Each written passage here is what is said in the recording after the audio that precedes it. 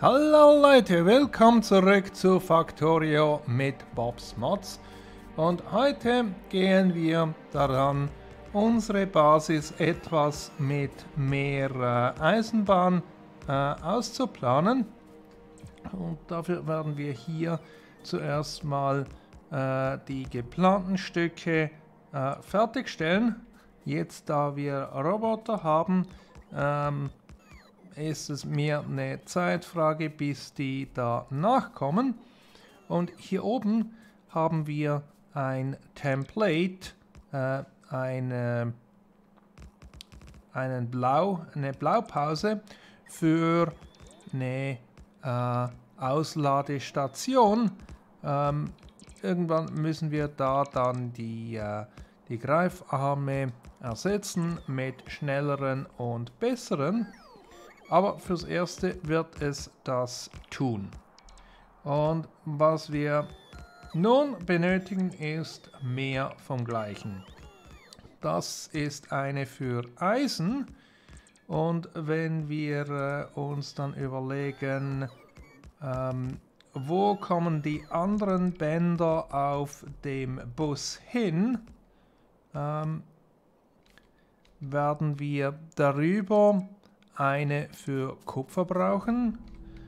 Wir werden, hier haben wir Eisen, Kupfer, dann eine für Zinn, Stahl und Blei.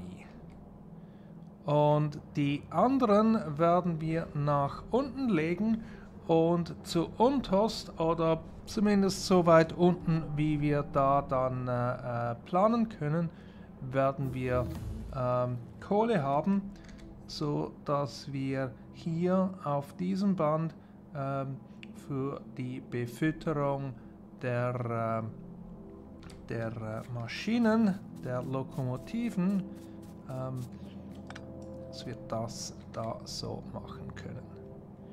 Und ich kopiere einfach mal das hier. Und wenn wir das so hinmachen, dann sollte alles gebaut werden, sofern ich äh, die nötigen Materialien habe, äh, wovon ich ausgehe, dass ich sie nicht habe. Denn mir fehlen zum einen Kästen und sicherlich auch äh, einiges an Greifarmen. Aber äh, wir können hier nach, nach unten gehen und hier hinten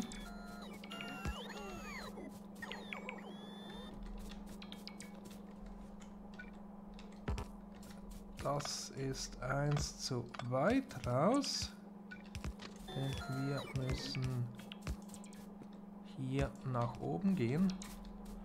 Und wie gesagt wir werden keine Verbindung hier nach gerade draußen haben.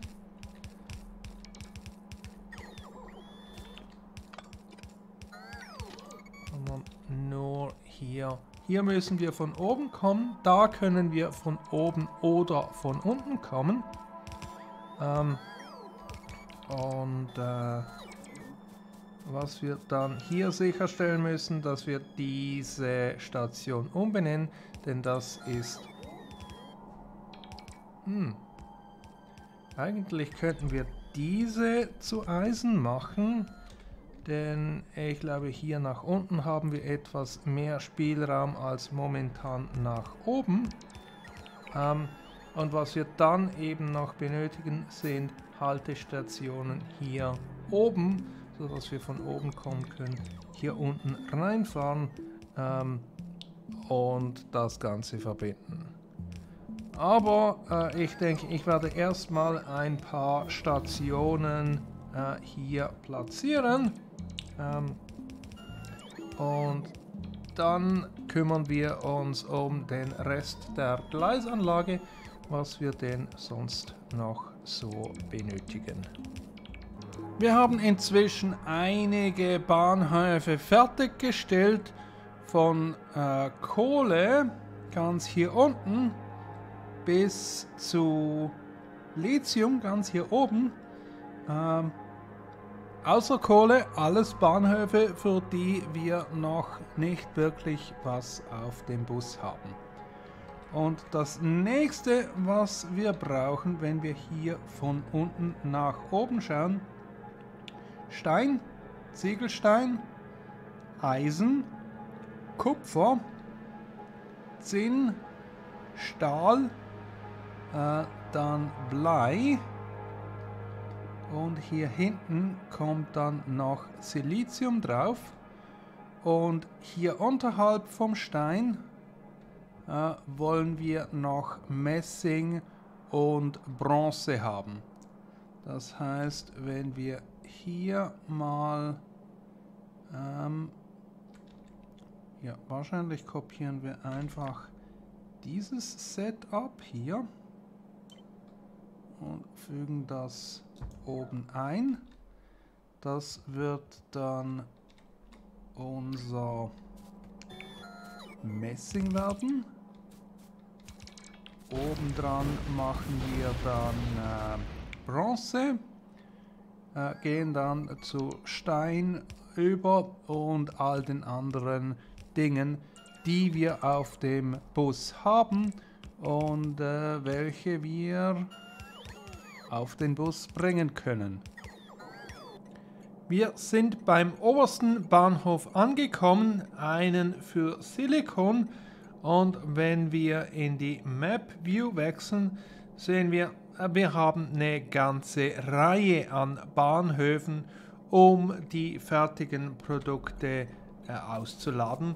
Und es sind noch nicht gar alle Produkte, denn viele der äh, Legierungen und sonstigen Produkte, äh, die habe ich völlig außen vor gelassen, ähm, denn da bin ich mir nicht wirklich so sicher, äh, müssen wir die in großen Mengen haben oder können wir die, uh, da fehlen noch Dinge, äh, oder können wir die, wo wir sie brauchen, vor Ort herstellen aus den Materialien, die wir haben.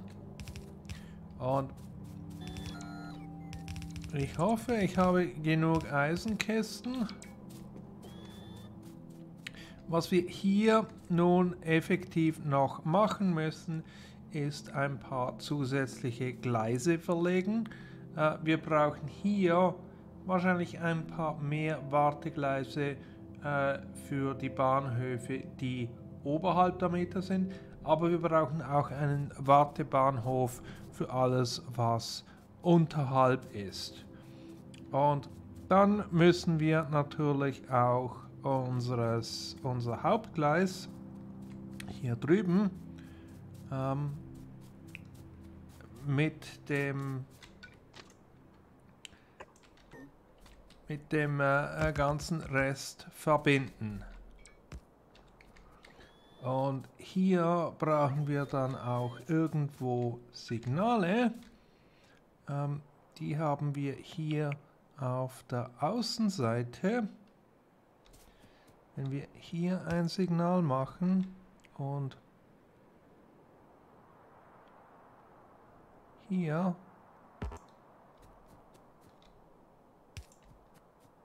Haben wir da Platz für einen Zug? Lokomotive und nein. Wir haben vier Waggons. Das heißt, wir brauchen eins.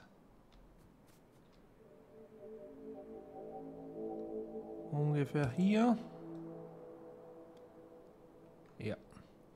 Und dann auf der gleichen Höhe gegenüber auch wieder einen. Dann machen wir hier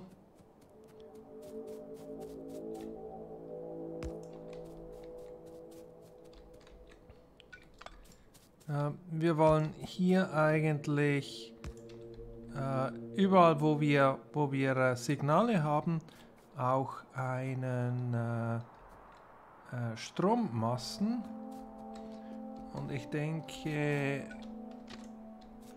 da muss ich erstmal das so machen, dass wir dann hier schauen können. 1, 2, 3, 4, 5. Dann auf dieser Seite und etwa in der Mitte machen wir nochmals einen. Und das ist dann unsere, unsere Blaupause für da nach, nach oben. Und so können wir den unteren Kreisel äh, mit einem Kreisel hier oben verbinden, wo wir den Ausgang äh, auf unseren Mainbus äh, führen. Und wir können auch sicherstellen, äh, wir haben, wahrscheinlich brauchen wir auch hier in der Mitte, vielleicht nicht äh, unbedingt einen Kreisel, aber doch zumindest eine, eine Abzweigung für die äh, Bahnhöfe oder für die Wartebahnhöfe, die von oben kommen, für die äh, äh, unteren für die unteren äh, Bahnhöfe. Nun, wie ihr sehen könnt, da ist noch einiges an Arbeit vor mir. Und wenn wir dann diesen Teil haben, müssen wir, äh, denke ich, schließen wir das Ganze mal an, äh, an das Stromnetz an. Denn hier möchte ich eigentlich auch noch gerne ein paar Radare haben, damit wir sehen, was denn so läuft ähm, auf dem Gebiet von unserer Basis, wo wir auch äh, Züge haben. Und dann haben wir hier quasi eine äh, oben-unten Nord-Süd-Verbindung und äh, irgendwo brauchen wir hier oben dann äh, Ost-West, aber auch hier unten. Wahrscheinlich da dazwischen.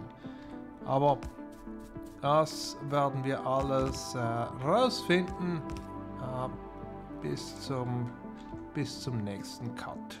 Inzwischen sind ein paar mehr Gleise verlegt. Wir haben hier unten mehr Wartebahnhöfe.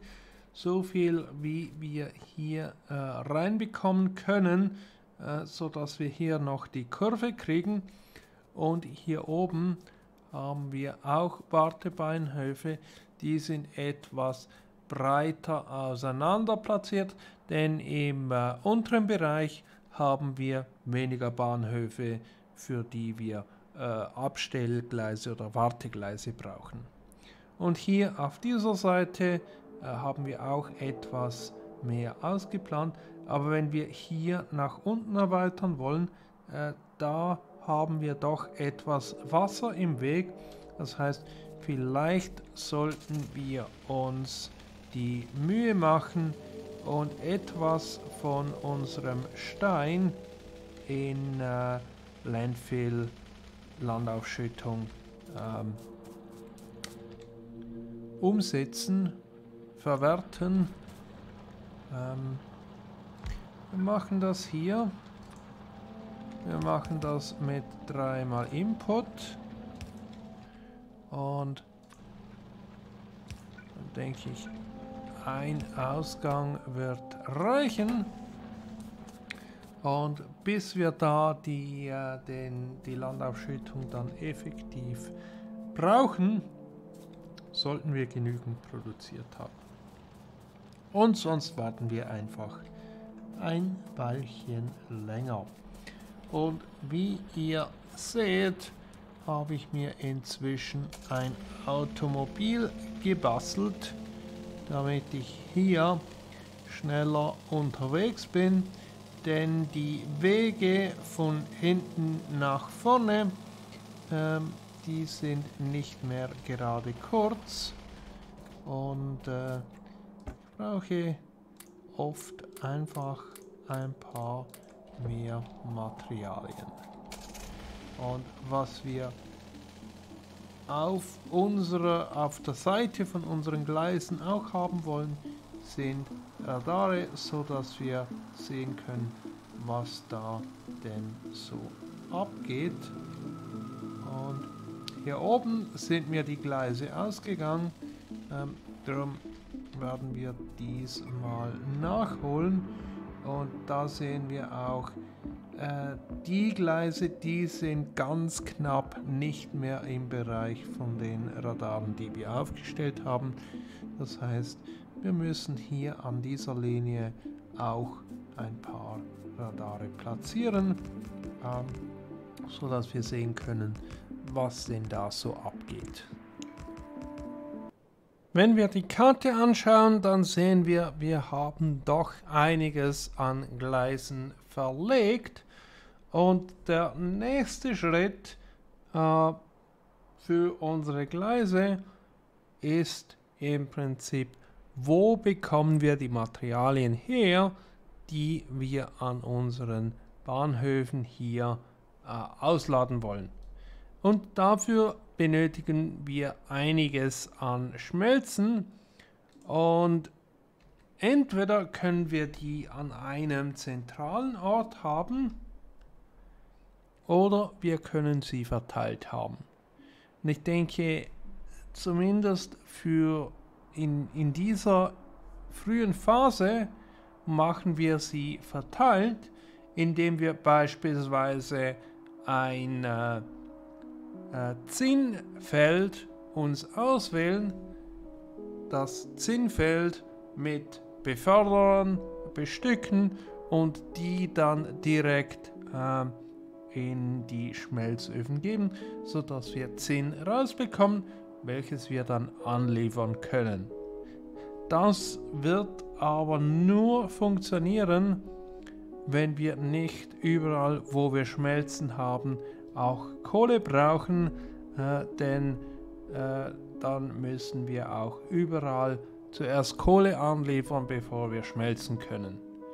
Drum denke ich, äh, werden wir für solche Schmelzen dann die, äh, die elektronischen Varianten benutzen.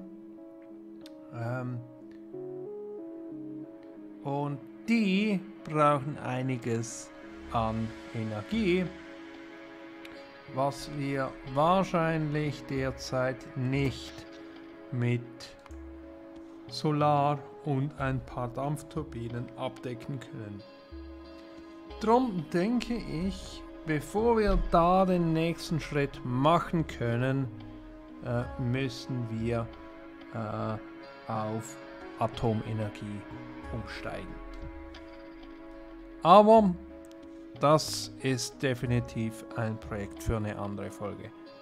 Also, das war's für heute. Ich hoffe, es hat euch gefallen und ihr schaltet auch nächstes Mal wieder zu, wenn wir versuchen, wie kommen wir an mehr Strom. Also bis dann und tschüss.